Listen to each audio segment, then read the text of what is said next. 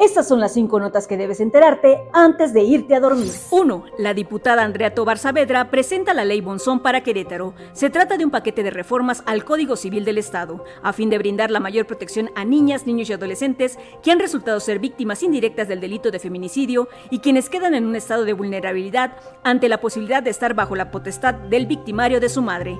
La ley Monzón ha sido presentada en más de 25 entidades federativas y aprobada en 7 de ellas. 2. Esta tarde se registró un sismo magnitud 5.8 con epicentro en Chautla de Tapia, Puebla. Fue perceptible en la Ciudad de México. Sin embargo, no hubo daños, solo el susto entre la población.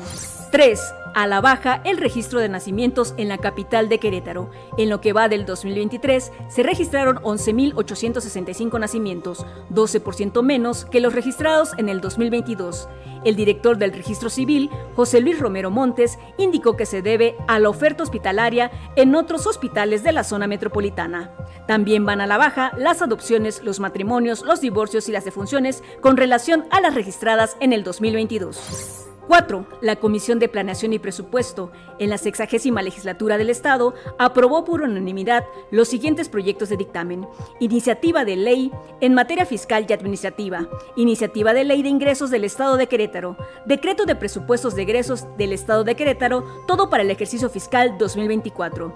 Además, la iniciativa de ley que fija las bases, montos y plazos conforme a los cuales se disminuirán las participaciones federales correspondientes a los municipios del Estado de Querétaro para el ejercicio fiscal 2024, así como las leyes de ingresos de los 18 municipios del estado de Querétaro para el ejercicio fiscal 2024.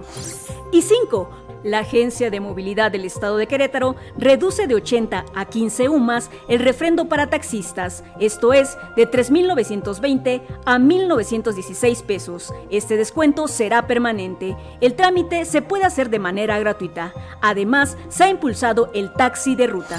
Recuerda que el detalle de la información lo puedes encontrar en andresesteves.mx. También te invito a seguir las redes sociales de Magazine TV. Soy Lola Mateos, ya estás informado. Buenas noches, buen descanso.